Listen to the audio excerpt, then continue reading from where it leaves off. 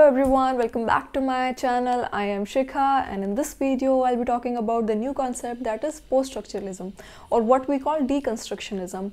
In my previous video I've already talked about the structuralism and which is very important if you want to understand the concept of post-structuralism. So if you haven't watched my video yet just go and watch it right now. I'll provide the link in my description box below. So let's begin with the video. So the concept of post-structuralism came in around 1950s and 1960s and there are many theorists associated with this school which includes Roland Barthes and Jacques Derrida. Roland Barthes basically was both structuralist and post-structuralist and I'll make another video particularly on Roland Barthes. So in this video I'll just be discussing about Jacques Derrida and his ideas on post-structuralism and how he deconstructed the ideas laid by structuralists. In my previous video, I've talked about Saussure's concept of signs, signifier and signified, where I also talked about his notions of structures, where he said that everything out there in the world is structurally formed and meaning does not lie in isolation. Like i gave you the example of traffic light. So every uh, you know every signifier has particular signified. If i talked about the example of traffic light if uh, the light red green and yellow it signifies something. And the concept we get is that we have to stop right there whenever we see red light in that traffic light but post-structuralists deconstructed this idea laid by structuralists and they developed their own theory saying that meaning is nowhere located as every signifier leads us to another signifier. I'll give you the same example of traffic light which I gave in my previous video. Like whenever you see red light in that traffic light, you will definitely stop there because you know that it means, the red light means that we have to stop right there on the road, right? If I say traffic light, would you get the same concept as I have of a traffic light? What if you are thinking about traffic light which is there on the road? What if I am talking about that red light, the picture of a red light which is there in the box? Okay, so this is what deconstructionist says that every signifier leads us to another signifier. I'll give you one another simple example. If we talk about all the relations that are there in India. Okay, if I say that my Chacha ji lives there, my Chacha ji lives in Delhi or my Chacha ji lives in Hyderabad. So you will get the concept that I am talking about my dad's younger brother. Okay, I signified something, I said something, and you got the same concept that I am talking about my dad's younger brother. But if in you know western countries uh, the, th those people say the same thing that my uncle lives there okay? What would you get? Would you get the same idea? Uncle can be anything. For them uncle can be even mama ji chacha ji tau ji fufa ji uncle can be anything. So deconstructionist says that it depends on the context as well.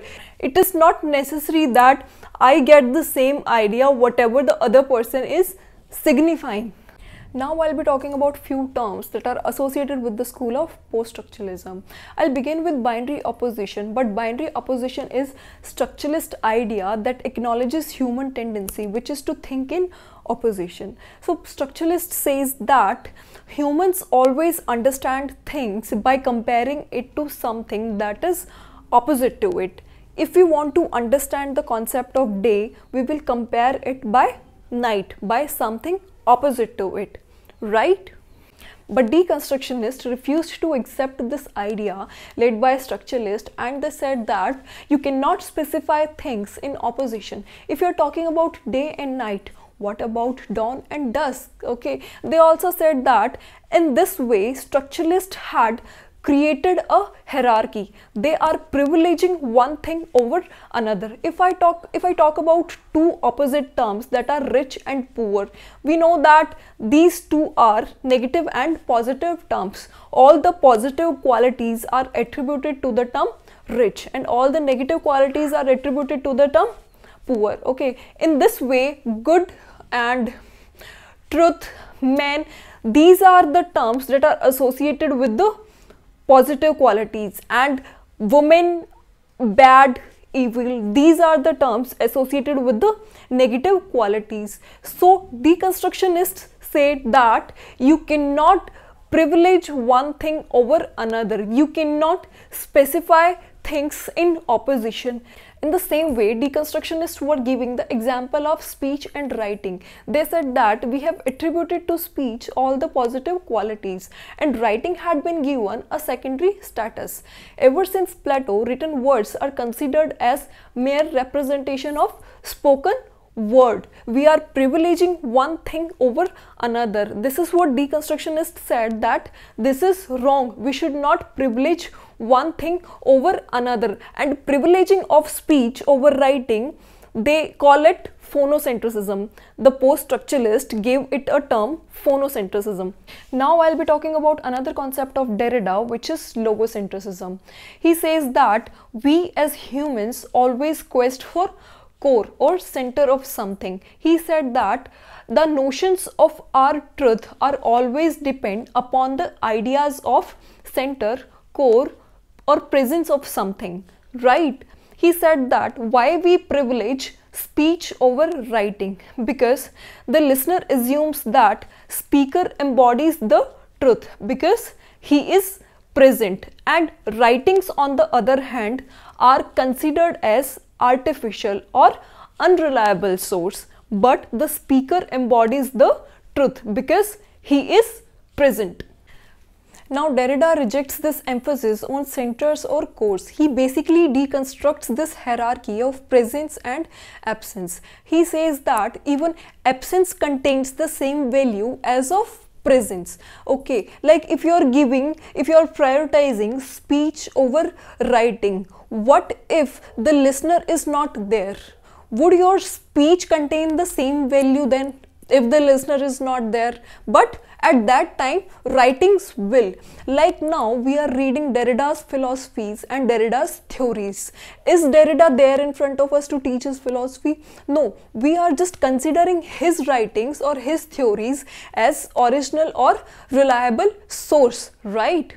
Now I'll be talking about another concept of Derrida which is différance. It is the combination of two terms that are to differ and to differ. To differ means being different and to differ it means the continuation or the postponement of something.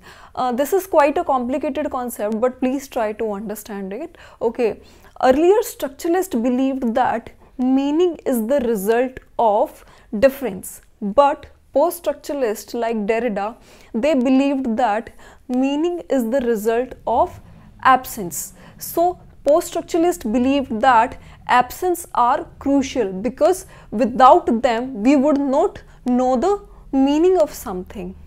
I'll give you one simple example. In Saussurean term, how will they define men and women?